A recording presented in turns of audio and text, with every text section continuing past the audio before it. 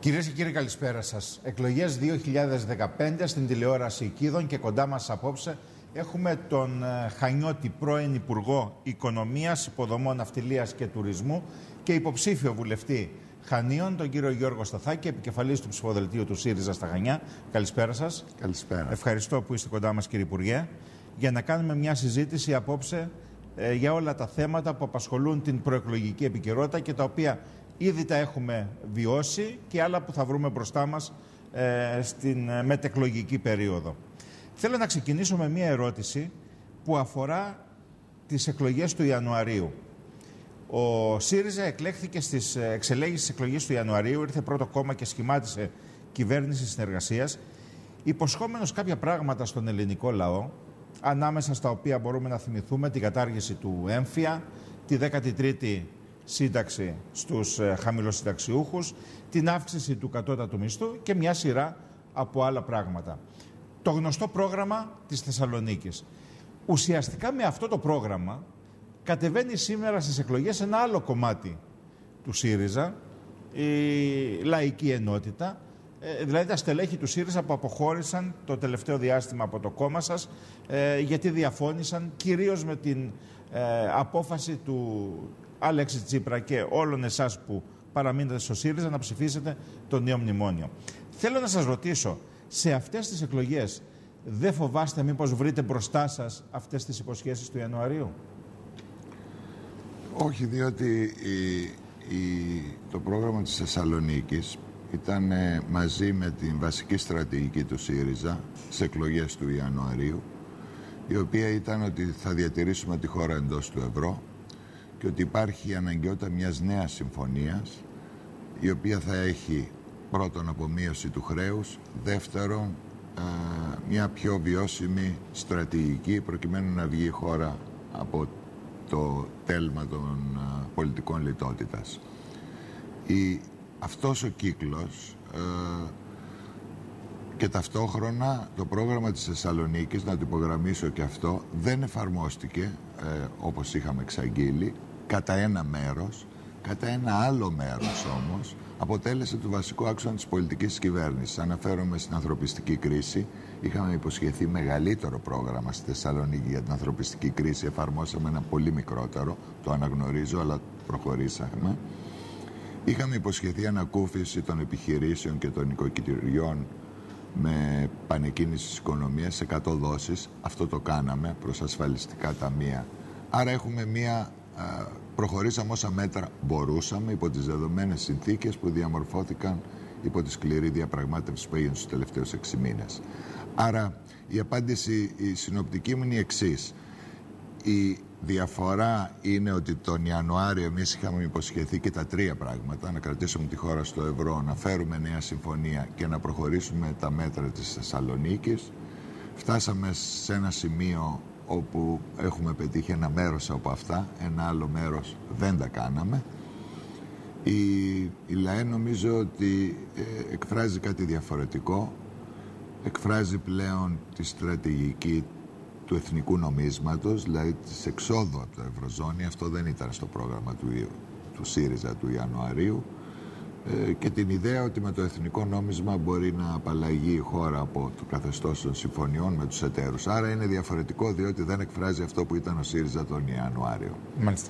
Θέλω να κάνω μια επίσης ερώτηση που έχει να κάνει σε σχέση με το διακύβευμα αυτής της εκλογικής αναμέτρησης. Ε, ο κύριος Τσίπρας έκανε μια σειρά από επιλογές κατά τη διάρκεια της 7μηνης διακυβέρνησης της χώρας. Εκ των υστέρων, αυτές οι επιλογές κατά την άποψή σας ήταν επιτυχημένες; Και τι θέλω να πω με αυτό. Φτάσαμε να, και όπως έχουμε ακούσει τον Πρωθυπουργό το έχει πει πολλές φορές, φτάσαμε μέσα από εκβιασμό να υπογράψουμε μια συμφωνία η οποία δεν έχω καταλάβει αν είναι μια συμφωνία τελικά καλή ή κακή. Διότι αν είναι προϊόν εκβιασμού κατ' ουσίαν συνήθως με εκβιασμούς δεν υπογράφεις καλές συμφωνίες. Υπογράφεις αυτό που σου δίνουν και ή το παίρνεις ή τα χάνεις όλα. Αυτό σημαίνει υπογράφω με κάτω από συνθήκες εκβιασμού. Εάν λοιπόν είναι, εάν έχουμε μια συμφωνία η οποία είναι προϊόν εκβιασμού, πιθανότατα δεν είναι καλή συμφωνία. Εάν έχουμε μια συμφωνία καλή, όπως ακούω και λέει ε, και υποστηρίζεται το τελευταίο διάστημα, ότι δηλαδή ναι υπογράψαμε κάτω από εκβιασμό, αλλά καταφέραμε μια καλή συμφωνία υπό, υπό τις παρούσες συνθήκες, τότε θα πρέπει αυτή τη συμφωνία να την υποστηρίξετε και αν είστε η κυβέρνηση μετά τις 20 ε, Σεπτεμβρίου. Ε, δεν έχω την αίσθηση ότι θεωρείτε πως η συμφωνία είναι καλή ή πως μπορείτε ή πως θέλετε να την υποστηρίξετε. Και γιατί το λέω αυτό, γιατί παράλληλα με τη συμφωνία αυτή, ακόμα και εξαγγέλλεται αυτή τη φορά, τον Ιανουάριο είχαμε το πρόγραμμα του Ιανουαρίου, αυτή τη φορά έχουμε ένα παράλληλο πρόγραμμα. Θέλω να ρωτήσω, θα, θα, θα επιμείνετε μέχρι τέλους στην υποστήριξη αυτής της συμφωνίας και θα την προχωρήσετε, θα την ολοκληρώσετε για να μπορέσουμε όταν ολοκληρωθεί να δούμε αν η χώρα καταφέρει να βγει ε, στο ξέφωτο ή θα πάμε πάλι σε μια διαδικασία διαπραγματεύσεων, επαναδιαπραγματεύσεων που μπορεί να οδηγήσει πιθανότατα και σε νέα οικονομική ασφυξία ή σε νέους εκβιασμούς.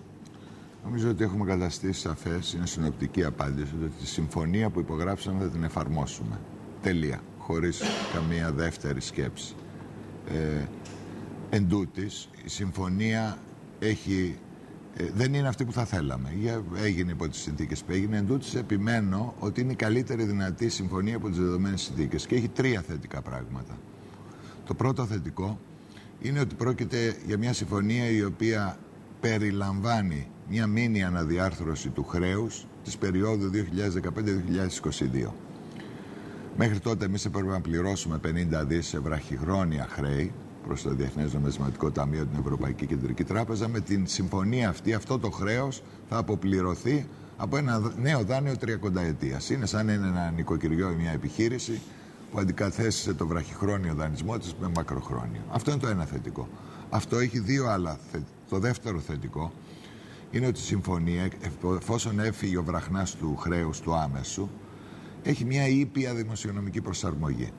Δεν έχει πλέον 4,5% πλεονάσματα, ε, έχει 0 φέτος, 0, κάτι του χρόνου και ούτω καθεξής. Αυτό ε, είχε ένα τρίτο θετικό στοιχείο, ότι εφόσον δεν έχουμε, έχουμε ήπια προσαρμογή, η συμφωνία δεν προβλέπει περικοπές μισθών και προβλέπει οριακές μόνο ε, περικοπές συντάξεις μετά το 17. Άρα αυτό είναι το θετικό σκέλος της συμφωνίας.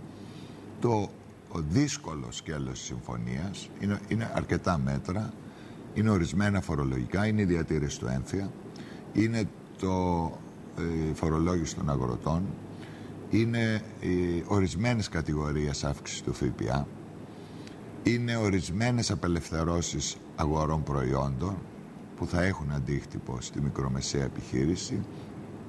Άρα αυτά όλα τα κομμάτια είναι δύσκολες και σκληρές περιοχές της συμφωνίας, είναι προϊόν συμβιβασμού. Ε, προφανώς θα το εφαρμόσουμε, αλλά με ένα μεγάλο αλλά, ότι σε κάθε περίπτωση η επιδίωξή μας είναι να έχουμε ε, τέτοιες πολιτικές οι οποίες θα δημιουργήσουν ισχυρή αντιστάθμιση σε αυτές τις αρνητικές συνέπειες. Θέλω να υπογραμμίσω όμως και μια τρίτη πλευρά της συμφωνίας.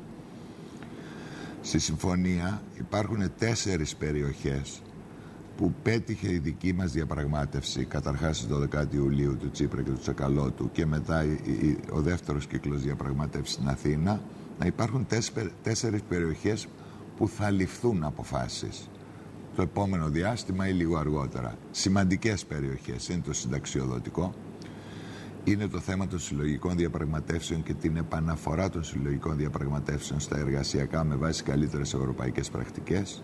Είναι τα κόκκινα δάνεια, το οποίο αποτελεί μείζον θέμα και είναι και το ταμείο το οποίο θα αντικαταστήσει το ΤΑΙΠΕΔ που είναι ταυτισμένο με την ιδιωτικοποίηση με ένα ταμείο τριακονταετούς διάρκειας το οποίο θα διαχειριστεί τη δημόσια περιουσία με, ε, ελπίζουμε και ευχόμαστε και είμαστε σίγουροι, με άλλους όρους από ότι τις ιδιωτικοποίησεις. Αυτές οι τέσσερις περιοχές θα αποτελέσουν αντικείμενο διαπραγμάτευσης, οπότε έχει τεράστια σημασία ε, να ληφθούν οι σωστές αποφάσει. Οι βάσεις για το πώς θα προχωρήσουμε από εδώ και πέρα, και αυτό είναι ίσως ένα παράδοξο αυτών των εκλογών έχουν μπει ήδη από τις ε, δύο συμφωνίες που ψήφισε η Βουλή τον Ιούλιο και, τον, ε, και στις 14 Αυγούστου. Δηλαδή, όποια κυβέρνηση και αν εκλεγεί, είτε είναι μια κυβέρνηση με κορμό τη Νέα Δημοκρατία, ή είναι μια κυβέρνηση με κορμό τον ΣΥΡΙΖΑ, είτε είναι μια κυβέρνηση που θα συμμετέχουν και τα δύο κόμματα και θα μιλήσουμε στη συνέχεια για αυτό, εάν και πόσο αυτό είναι εφικτό,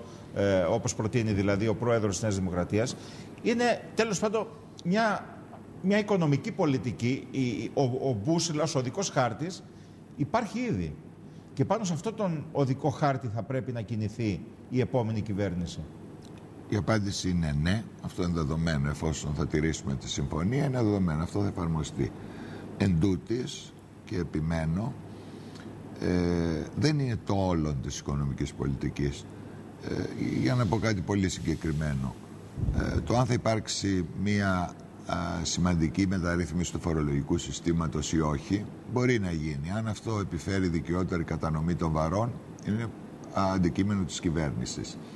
Το αν θα υπάρξει μια καλύτερη πάταξη της φοροδιαφυγής είναι προϊόν της κυβερνητικής πολιτικής. Το αν θα υπάρξουν α, αλλαγές αναδιαναμητικού χαρακτήρα στο συνταξιοδοτικό είναι αρμοδιότητα της κυβέρνησης. Το αν θα υπάρξει μια πολιτική πρωτοβουλειών στο αναπτυξιακό ζήτημα είναι αντικείμενο της κυβέρνησης. Το αν θα υπάρξει ένα ολοκληρωμένο ε, πρόγραμμα στήριξης αγροτικής παραγωγής είναι αντικείμενο της κυβέρνησης. Το αν θα υπάρξει μια ενθάρρυνση της κοινωνικής οικονομίας ε, και προσπάθεια να δημιουργηθούν θέσεις απασχόλησης με ε, άλλας τρόπους και άλλα εργαλεία είναι αντικείμενο της κυβέρνησης. Συνεπώς ναι, το πλαίσιο είναι δεδομένο, θα εφαρμοστεί εκ των πραγμάτων. Από εκεί και πέρα οι βαθμοί ελευθερίας εξακολουθούν να υπάρχουν για μια σειρά από σημαντικά θέματα.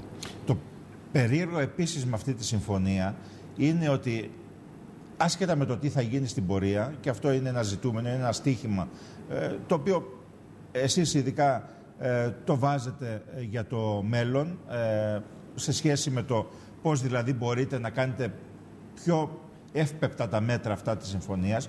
Το παράδοξο όμως σε σχέση με αυτό που ήδη έχει ψηφιστεί είναι ότι η συμφωνία αυτή στα πρώτα μέτρα της πλήγει στρώματα, κοινωνικά στρώματα, τα οποία ήταν αυτά που κατά βάση σας στήριξαν στις εκλογές του Ιανουαρίου. Δηλαδή, να ε, διαβάσαμε προχθές ότι ε, με βάση τα στοιχεία που έδωσε η Ελστάτ είχαμε το δεύτερο ε, τρίμηνο του 2015 μία μείωση στους μισθούς και ειδικά μια μείωση που έγινε πολύ πιο έντονη, πολύ πιο αισθητή, στον ιδιωτικό τομέα αναφέρομαι, μετά τα capital controls. Έχουμε την μείωση στις συντάξεις. Άσχετα εάν το ποσό αυτό το οποίο θα φύγει θα πάει όπως λέει ο ΣΥΡΙΖΑ σε κοινωνικές παροχές, κυρίως σε παροχές υγείας, αυτό που είδαν οι συνταξιούχοι στα βιβλιάρια τους τώρα που πήγαν να πάρουν τις συντάξεις τους, ήταν ότι υπάρχει μια μείωση 15, 20, 30 έως και 50 ευρώ σε κάποιες ε, συντάξεις με, με βάση τη σύνταξη που πήραν. 2%. Το, ναι, το προηγούμενο είναι 2 συν 4. Για τα επικουρικά. Ναι, για τα επικουρικά. Με βάση το, το, τα ποσά που πήραν τον ε, προηγούμενο μήνα. Έχουμε τη φορολόγηση των αγροτών. Που ξέρετε πολύ καλά ότι και εκεί υπάρχουν πολύ σημαντικές αντιδράσεις. Και έχουμε και, σε μια, ε, έχουμε και σε εκκρεμότητα το θέμα της αύξησης του ΦΠΑ στα ιδιωτικά φροντιστήρια, κυρίως φροντιστήρια ξένων γλωσσών και φροντιστήρια ε, τα οποία προετοιμάζουν τους μαθητές για τις εξετάσεις, όπου εκεί το 23% θα χτυπήσει κυρίως, δεν αναφέρομαι στους ιδιοκτήτες μόνο και στους εργαζόμενους στα, στην ιδιωτική εκπαίδευση, αναφέρομαι και στον μισθωτό, ε, τον άνθρωπο δηλαδή που θα στείλει το παιδί του στο φροντιστήριο, που κατά βάση αυτός θα υπομειστεί αυτή την αύξηση. Όλα αυτά δεν σας προβληματίζουν για την εκλογική αναμέτρηση που θα έχουμε μεθαύριο. Μήπως δηλαδή υπάρξει ένα κύμα διαμαρτυρίας από αυτά τα κοινωνικά στρώματα το οποίο μπορεί να εκφραστεί με μια λαϊκή δυσαρέσκεια στην κάλπη; Δεν υπάρχει παραμικρή αμφιβολία, το είπα και προηγουμένως, ότι στο πλαίσιο της συμφωνίας ε, έγιναν συμβιβασμοί σε μια σειρά από πολύ επώδυνα μέτρα και τα φορολογικά που αναφέρατε είναι ε, Εν τούτης, ε, ε, η, αν πάρουμε ένα-ένα από αυτά, οι συντάξεις Σας υπενθυμίζω ότι στο συνταξιοδοτικό εμείς πετύχαμε την, την καλύτερη δυνατή συμφωνία, δηλαδή δεν υπάρχει μείωση των συντάξεων, υπάρχει μόνο αυτή η αύξηση της υγειονομικής φοράς που δεν πηγαίνει στον προϋπολογισμό, δεν πηγαίνει στην εξυπηρέτηση του χρέους, είναι αποκλειστικά για τον υγειονομικό φορέα των συνταξιούχων. Γι' αυτό λέω ότι είναι προφανώς είναι μειωμένη στην τσέπη του συνταξιούχου αυτό το 2%, ε, αλλά δεν είναι ε, μείωση συντάξεων. Να κάνω μια παρατήρηση, μια ναι. ερώτηση εδώ για τις συντάξεις, άσχετα με το ποια θα είναι η κυβέρνηση μεθαύριο. Άσχετα αν θα είστε εσείς ή αν θα είναι η Νέα Δημοκρατία. Πολλοί, πολλοί φοβούνται και μάλιστα κάποιοι το λένε και δημόσια. Για παράδειγμα, ο κύριος Ρωμανιάς, ο οποίος ήταν γενικός γραμματέας ε, στο Υπουργείο Εργασίας ε, και ο οποίος έφυγε αυτή, αυτή τη στιγμή, είναι σε άλλο ε, σε άλλο κόμμα και συνυποψήφιό σας εδώ στα, στα Χανιά με τη λαϊκή ενότητα. Αλλά, εν πάση περιπτώσει, επειδή χειριζόταν το θέμα αυτό, είπε ότι ο Αρμαγεδόνας για τις συντάξεις είναι μπροστά. Ο κύριος Μητρόπουλος, που ήταν αντιπρόεδρος της Βουλής, που ήταν υποψήφιος με το κόμμα σας, λέει και μάλιστα σήμερα νομίζω έκανε μια καινούργια δήλωση ότι ε, η σφαγή στις συντάξεις είναι μπροστά. Δηλαδή, τι θέλω να πω, θα μπορέσετε εσείς αν είστε κυβέρνηση μετά τις 20 Σεπτεμβρίου να ε, εγγυηθείτε στον ελληνικό λαό ότι όντως η μεγάλη σφαγή στις συντάξεις δεν θα είναι μπροστά, Φυσικά. δεν θα είναι το επόμενο διάστημα; Φυσικά και το λέγουν και οι δύο λάθος. Όπως φαντάζεστε, ξέρω πολύ καλά τι υπογράψαμε στη συμφωνία για το συνταξιοδοτικό ε, και είμαι απόλυτα σαφής. Αυτό που κατοχυρώσαμε στο συνταξιοδοτικό και είμαι απόλυτα ειλικρινής είναι το εξής ότι το ποσό που πηγαίνει στις συντάξεις, τα 30 δις, 20 δις από τις εισφορές και 10 δις από τον προϋπολογισμό, θα παραμείνουν ως έχουν για όλο το χρονικό διάστημα μέχρι το 2020. Το ποσό είναι το ίδιο. Δεν πρόκειται να υπάρξει καμία μείωση του ποσού. Αυτό που προβλέπεται στο συνταξιοδοτικό είναι, βέβαια συμφωνία, πρώτον, η κατάργηση των πρόωρων συντάξεων έγινε, αυτό εξοικονομεί 1,7 δις, τελείωσε αυτό, δεν υπήρχε τρόπος να διατηρηθεί το καθεστώς των πρόωρων ναι. συντάξεων. Προσωπικά πιστεύω ότι δεν ήταν και σωστό να διατηρηθεί. Και η μόνη μείωση των συντάξεων θα γίνει από το 17 έως το 19 ένα ποσό το οποίο δεν θα ξεπερνάει το 1% του ΑΕΠ, 1,7 δις και αυτές θα είναι οι περιορισμοί, γι' αυτό μιλάω για οριακές και μόνο οριακές, διότι πρόκειται για μια σταδιακή μείωση 17, 18, 19 της τάξης του 1% ετησίως. Δεν υπάρχει μείωση των συντάξεων, δεν υπάρχει αρμαγεδόν, δεν υπάρχει τίποτα, εκτός εάν έχουν μια άλλη συμφωνία στο μυαλό τους, την οποία δεν είναι διαφορετική από αυτή την οποία συμφωνήσαμε. Άρα το συνταξιοδοτικό νομίζω ότι ήταν επιτυχία της διαπραγμάτευσης σε σχέση με αυτό που ίσχυε πριν και επιτρέπει και εδώ θέλω να είμαι σαφής ότι θα υπάρξει ένα, θα γίνουν αλλαγές στο συνταξιοδοτικό αλλά ο γνώμονας εφόσον είναι δεδομένο το ποσό θα είναι να είναι καλύτερη προστασία των χαμηλότερων συντάξεων και ένα πιο δίκαιο σύστημα για τις πολύ ψηλές συντάξεις. Αυτές είναι οι αλλαγές που θα γίνουν. Δεν βλέπω κανένα αρμαγεδόνα. Θεωρώ ότι θα πάει προς το δικαιότερο. Ο ΣΥΡΙΖΑ ήδη έχει κάνει κάτι πολύ σημαντικό. Σας υπενθυμίζω ότι ενσωμάτωσε στο συνταξιοδοτικό τις γυναίκες που δεν είχαν χρόνια εργασίας αλλά ήταν στην κοινωνική πρόνοια, το οποίο ήταν μια μεγάλη, ένα μεγάλο και σημαντικό βήμα, αφορά μερικές δεκάδες χιλιάδες, ε, μια πολύ ευαίσθητη κοινωνική ομάδα και ήταν ένα μεγάλο βήμα μπροστά. Με αυτό το πνεύμα θα προχωρήσουμε. Ωραία. Για να, πάντως, επειδή πρέπει να πάμε σε διαφημίσεις, αλλά θέλω να ξεκινήσουμε το επόμενο μέρος της εκπομπής. Έχετε να απαντήσετε και για τα υπόλοιπα που μου είπατε ότι θέλετε να δώσετε απαντήσεις, αλλά θέλω να συνδυάσω λίγο το συνταξιοδοτικό, εγώ θα το βάλω γενικότερα ασφαλιστικό, με το θέμα της ε, πορείας της ελληνικής οικονομίας. Και γιατί το λέω αυτό. Διότι κακά τα ψέματα, κύριε Υπουργέ, Εάν η ελληνική οικονομία δεν πάρει μπροστά, εάν δεν έρθει δηλαδή η ανάπτυξη, εάν δεν δημιουργηθούν νέες θέσεις εργασίας, που είναι το μεγάλο ζητούμενο, το ασφαλιστικό δεν μπορεί να λυθεί.